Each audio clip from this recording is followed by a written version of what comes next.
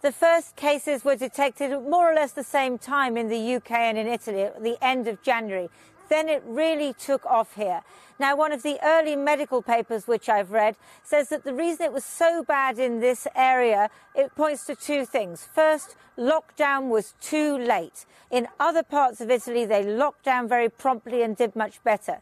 The other thing was about doctors on the front line, not in hospitals, but GPs. They saw many COVID patients and didn't know about the disease. They didn't know how dangerous it was. They didn't wear protection. And that may have been like a sort of feedback loop. Then there was the issue of sports. Now, they had a game zero. They had a football match. Many people were thought to have been affected. But, you know, that was three weeks before we held the Cheltenham Gold Cup. So you do wonder whether Britain was looking here at all. Now they're in lockdown. Maybe there are more lessons, particularly when it comes to the issue of wearing face masks. The children are no longer cooped up. The piazza's no longer deserted. Restaurateurs are preparing for Monday when they hope the government will give them the go ahead to reopen. But think back six weeks. Army trucks taking the dead away because the hospital morgues were overflowing. Sì, ma una, eh, noi abbiamo i Covidian adesso. Silvia Vanelli, supervising the ICU in a Bergamo hospital at the height of the crisis, engaged in a desperate struggle to keep her patients alive. Today, she can take the occasional break. she even laughs again. But this isn't over.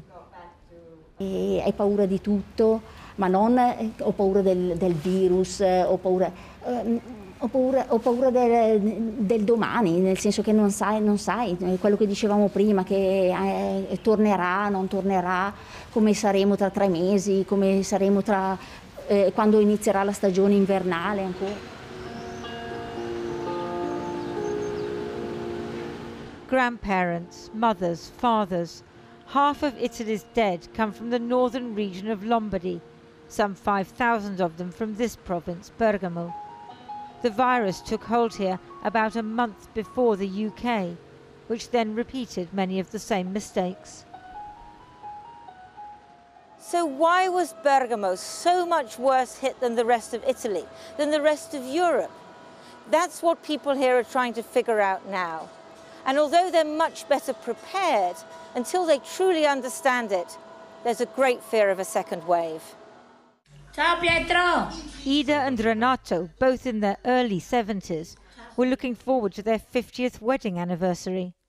But they died within a week of each other in March.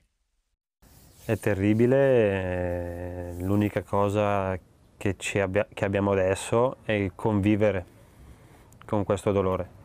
Non passerà mai. Non passerà mai. E ogni volta che li penso piango.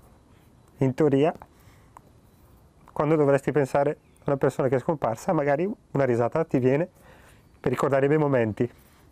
Adesso è impossibile. È impossibile. Questa dalla mamma, tutti, mamma, la mia mamma non ce l'ha più. Quindi è così.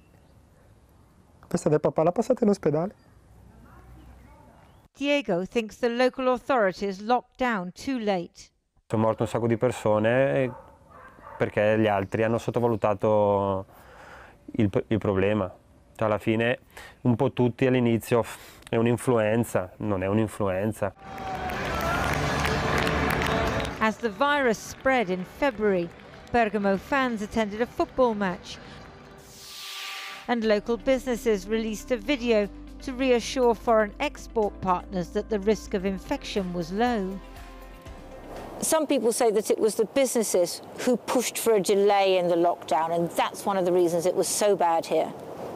I have to say that uh, we have been uh, very responsive of that because uh, even before the lockdown phase, we have closed much more of the businesses than then uh, the uh, order for the government were saying.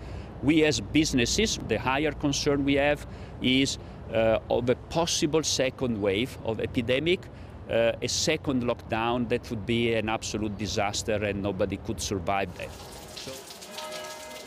To avoid a second wave, everyone must wear a mask in public.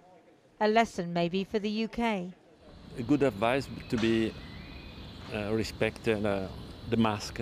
Some the distance is important and uh, the cover. The mask. So the mask, The because mask. some people say the mask is No, not the mask worth is it. very useful. Where in uh, South Korea, I think, they they used mask and they were they, they had a very very very low uh, incidence of uh, COVID disease. So it's uh, very important. Now is a time for music and for mourning, and for trying to learn from the tragedy that befell one of the most advanced and prosperous parts of Europe.